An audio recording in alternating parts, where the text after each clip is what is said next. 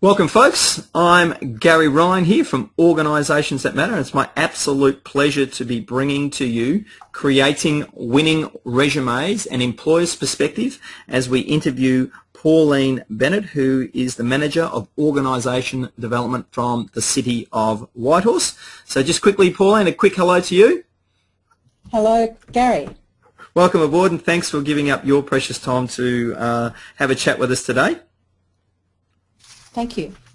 Um, I'll just do a little bit of a brief introduction to our audience so they know what's going on. I'm aware that for some of them today is the first time that they're experiencing a webinar. So just briefly, Organisations That Matter is uh, the organisation that I have created. And in simple terms, what I do is I work with people who are interested in moving beyond being good. So whether that be at an individual level, at a team level, a departmental level, or in fact at an organisational level. So I have a whole range of tools and strategies that I use to help folk move beyond being good because lots of people are good, lots of teams are good, lots of organisations are good, but it's about being better than that that folk are generally very interested in, and that's the space that I work in. And clearly, getting yourself jobs and resumes is clearly part of moving beyond being good, and that's why you've bothered to give up your time to be with us here today. So the time that we're going to spend together, we'll have a little bit of time going through the introduction as I'm doing right now. We'll spend the vast majority of our time, of our total of 40 minutes, uh, interviewing Pauline and finding out her perspective from a very experienced person's point of view on resumes and the sorts of lessons and things and tips and tools that you can use. We'll also have uh, an opportunity at the end to ask any questions that haven't been addressed, so that will be a chance for you to open up your microphones and or type your questions in, and then we'll just spend a few minutes wrapping up at the end. All right, uh, just covering off what we'll be talking about with Pauline, who again is the Manager of Organisation Development at the City of White, Whitehorse. We'll be looking at why bother crafting your resume in the first place and what do recruiters look for in resumes. Does yours meet the health check? So we'll find out what Pauline means by that. And will your resume clinch that interview, meaning get you in to have an interview, which is what the, the purpose of a resume is, and any other considerations, and clearly what you also need to do right now as a result of what you are learning from Pauline. So, Pauline, um, just to get started, if you want to just have a quick chat a little bit about um, the City of Whitehorse and your role and, and your, your time in uh, government. Uh, thanks, Gary. Um, I'm the Manager Organisation Development at the City of Whitehorse um, and in that portfolio um, I look after learning and development, human resources and occupational health and safety and work cover. We have a workforce of about 1,200 people, uh, so it's, it's quite a big portfolio and we also manage another five or 600 um, volunteers and as people would be aware, volunteers are becoming more and more treated like employees in terms of um, what we need to do for them. So it's it's quite a big portfolio, and um, I've been at Whitehorse for six years, just ticked over six years, and uh, before that I've been in a couple of other councils, um, a statutory authority for a long time, uh, and I, I, ran my own consulting business for a while too when my children were quite young. So um, had a variety of experience in both the public and private sector. You've definitely been very busy and with 1,200 staff across a wide variety of roles, as you've said, Pauline. Uh, I'm sure you've uh, seen many, many uh, recruitment process and certainly overseen them uh, for those different roles. And I suppose what we're here to hear about today is some of the themes and patterns that you've learned as, uh, as a result of that experience over time. Yes, yes. And um, I, I, should mention that um, Whitehorse uh, in the local government sector is um, considered quite highly as an innovative council.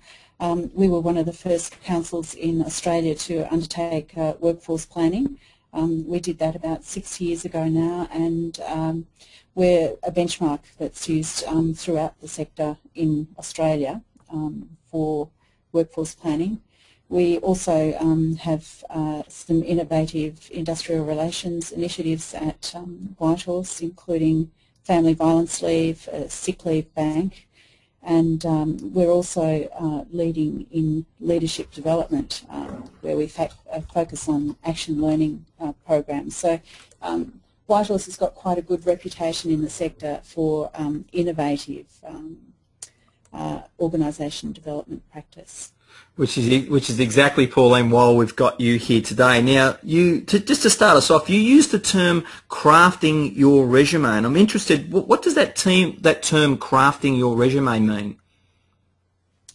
Well, um, we we um, suggest that people should uh, craft their resumes because um, as a recruiter, and I don't think I'm alone in this, we may only spend between 15 and 30 seconds, which is about uh, five minutes less than what we've just uh, spent in the opening segment of this seminar, um, to read a resume. So if you're going to make an impression in that 15 to 30 seconds that the recruiter reads your resume, you need to hit the mark with the key selection criteria and um, provide a window to um, yourself, to the recruiter, so that, that, um, that they know what you want to achieve in your career, but also where you've been and how you fit uh, in with the role that they're recruiting for. So, so given it's a crafting, if I if I think back to the old folk who are craftspeople uh, in in historical terms, crafting is something that just doesn't happen the first time you do it. So, I'm sort of hearing you also suggest that if no. you're crafting your resume, it's it's an ongoing process. Is uh, what are your thoughts on that? Absolutely, absolutely. My resume. Um, that uh, I use for uh, that I always have ready because you never know when a headhunter is going to ring you. Um, I look at probably twice a year and I would recommend that people do do that. Just sit down, add in their most recent experience. But also um, when you are applying for a role that the your stock standard resume is not what you submit. You go through your resume with the key selection criteria sitting next to you and you craft that resume to fit um, I am not saying that you should um, embellish the, the truth, but that your um, experience fits the key selection criteria that uh, is required for that role. Um, for example, you may have a list of things, um, if you're an experienced person, that you've achieved throughout your career. Um, if the key number one key selection criteria is one of the things in that list, you would put that thing up at the top of the list in your resume. So you're crafting your resume to fit the key select selection criteria for that role. Just a little bit of information too about some other things that I do. Uh, some of you would be aware, but not all of you would be aware that I do a lot of work in planning for personal success. One of the aspects for folk and their careers is that too often, uh, from my experience, people do career planning that is separate to the rest of their life.